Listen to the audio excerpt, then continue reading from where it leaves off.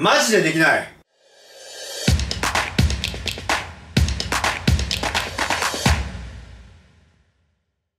どうもじゃあ、篠原です。今回ですね、英語がマジでできない人の勉強法ということで、まあ、これはね、実は俺自身に見せたい動画です。俺が、えー、中1、中2の頃、えー、全然英語できなかった。本当に嫌いだった。で、今は、まあもちろん兄弟にも受かったし、で、その後 TOEIC で810点取ったし、ネイティブが出てきても、まあ一応喋れるだろうと。ノンネイティブとしては十分なコミュニケーション力あるんですね、俺には。っていう人間になるための方法を話します。で、これね、単純に、まず一回割り切るんですよ。なんか、英語って、ものすごくこう、グローバルなコミュニケーションが取れて、世界中の人と友達になれる、素晴らしいものだとか思わないんです。ただ、金になる暗号解読だと思うんです。英語っていうのは論理があって、そのロジックで文を楽しもうだとか、そのいろんな人とのコミュニケーションを楽しもう。全部綺麗事。もうね、クソそんなのクソもう金です世の中金金になる暗号解読。英語は金になるんです。英語ができると年収200万上がると言われてます英会話ができると年収200万上がるしかも、えー、日本だけじゃなく海外の会社に就職することもできますまあいわゆる日本国内だと外資系と呼ばれている会社なんだけれども外資系って日本企業よりもはるかに収入高い月月収というかそういうのを手に入れることができます。まあ外資系って年俸制多いんで年間なんですけど、えー、高い金を得たい金が欲しいなら英語はできるようになるべきなんですね。でこのもう金だともう所詮金なんです。金になる暗号解読が英語だともう割り切ってください。もうコミュニケーション楽しさだとか英語の奥深さもう全部切り捨てる。我々は英語が苦手なんです。英語が嫌いなんです。英語嫌いなやつっていうのはとりあえずやることを絞る。で何に絞るかというと3つ絞って単語と文法と速読に絞ろう。で単語に関してはもうこれ暗記するだけです。でね英語嫌いなんです苦手なんですっていう人まあ俺も昔そうだったんだけどあのね覚えてないんですよ。でこの暗記するっていうことをやってない人間はそれは英語できないです。というのも言った通り英語は暗号解読なんです。英語なんかにそのなんだろうなその合理性そんなものを求める方がまあ言語だからね。合理性というか理屈みたいな求める方が間違ってるんです。そもそも。えー、あるんですよ。本当はあるんだけれどもそんなの求めることはそもそも間違いなんだ。もう覚えよう。暗号なんだから覚えろって話なんだよね。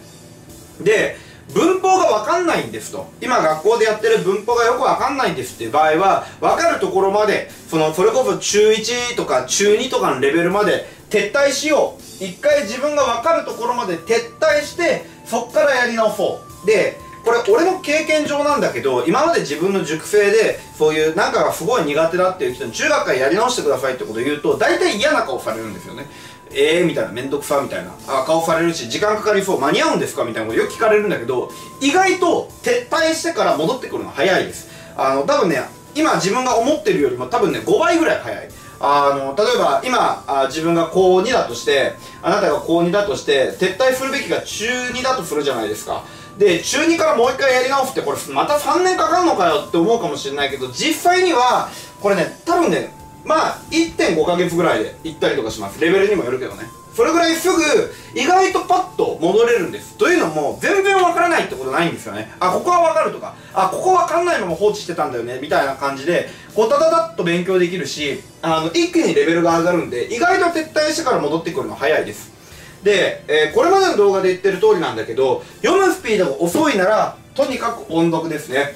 音読をしましょう。音読をしたら成績が上がります。これまでの塾生でも音読して成績が上がらなかったやついないんでもう音読したら成績上がる。音読して俺の言ってる通り音読して成績上がらなかったら言ってください。もう無料電話相談でも何でもします。絶対に上がる。音読したら。なんでかっていうと我々は日本語喋るときに喋って覚えたでしょ？目の前にいる人ママとかパパって言って覚えていったじゃないですか。車走ってるの見てブーブーって言ってブーブー走ってるとか言って覚えたわけでしょ？みたいな感じで我々が喋って日本語を身につけたんだったら喋って英語は身につくはずなんです。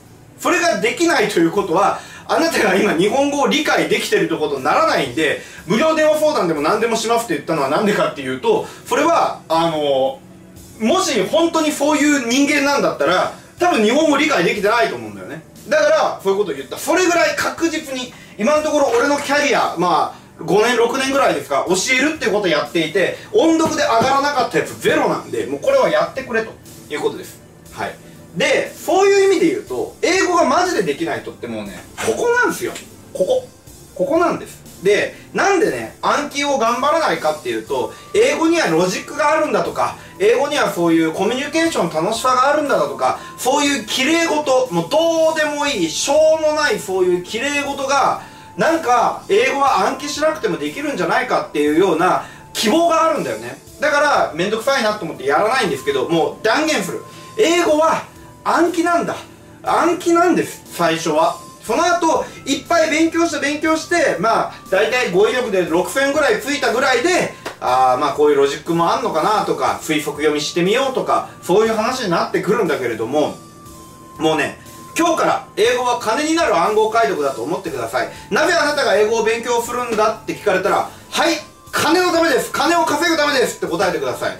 僕は金が欲しい。だから英語を勉強するんです。って答えてください。もう綺麗事一切捨てよう。まああるいはもう何ですよ。あのなんか白人の美人の姉ちゃんと結婚したいからですとか白人の美あのイケメンの男子と結婚したいからですとかそれでもいい。もう欲望に忠実にあなたの欲望を叶える金だとかえー、そういう美人の姉ちゃんとか兄ちゃんだとかそういうのが英語であってそれ以上の価値にえそれ以上の価値は英語にはない。